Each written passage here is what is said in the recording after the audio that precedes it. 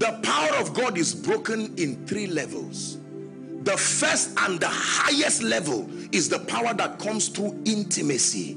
When you have a direct relationship with God, there is a dimension of spiritual power. It is the highest level of spiritual power that can be given an individual. It comes through intimacy and encounters. Is that true?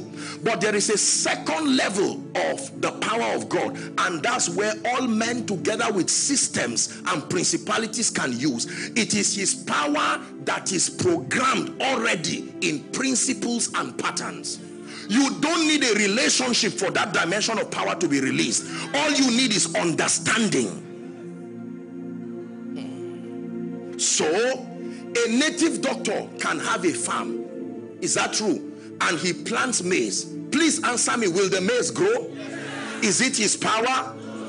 There is a principle already. Are we together now? When demons appear to people to help them, that's why Satan and demons don't need a relationship from you. You don't need to know the name of the herbalist. He's not interested in a relationship because it is not that level of power he's giving you.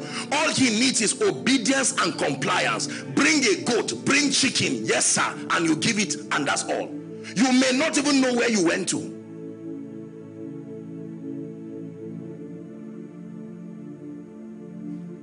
The third level of power is released through covenant alignment with a vessel that is in covenant with God.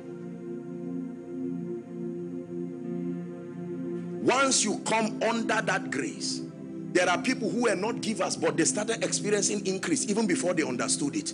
Because they came under the covenant of one who is obeying. And they were able to partake of that grace. Are you learning now?